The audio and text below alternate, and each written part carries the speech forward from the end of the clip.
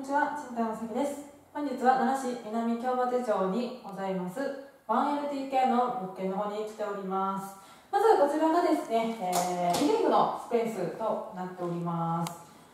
えーバルコニーが南向きのお部屋となっておりまして、日当たりもね、大変いいですね。前にね、遮遮るものなどがありませんので、えーお洗濯物も快適にしていただくことができるようになっております。さあこちらのお部屋は、角部屋ということで、こちらの西側にも窓がついておりますので、まよりね、明るいお部屋となっております。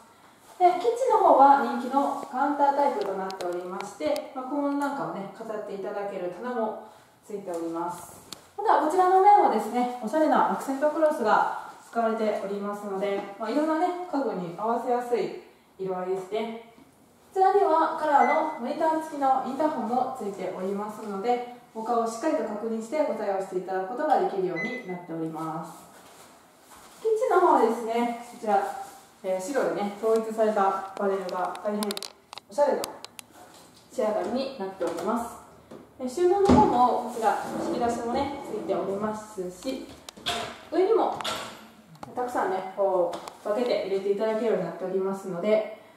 はい、調理器具をしっかりと収納していただけます。こちらにはお好みのコンロを置いていただきまして、後ろはですね、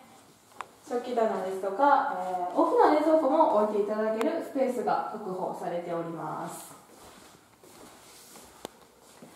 そして、こちらがですね、玄関のスペースとなっております。床もね、入ってからすぐおしゃれな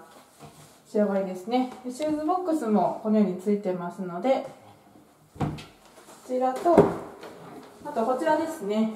こういた少しの、えー収納スペースがありますので、外出用のお荷物なども置いていただけるようになっております。で、水回りがこちらですね。まず、こちら、ホワイトのですね、シャンプードレッサー付きの、えー洗面台となっております。で、室内の洗濯機置き場がございまして、こちらもね、え白で統一された大変清潔感のある浴室となっております。なんと追い追い炊き機能もついておりますので、本当にね、快適にご入浴もしていただくことができます。上には浴室乾燥もございますので、えー梅雨の時期などもね、大変助かりますね。こちらのボタンで全て調整していただけるようになっております。で隣にですね、えーお手洗いがございまして、こちらはウォシュレット付きとなっております。こちらね、快適に使っていただけますね。このようにこう、建具がですね、木目調で、えーそして壁は白で統一されてますので、大変明るいですね。こちらの洋室にもですね、こっちと、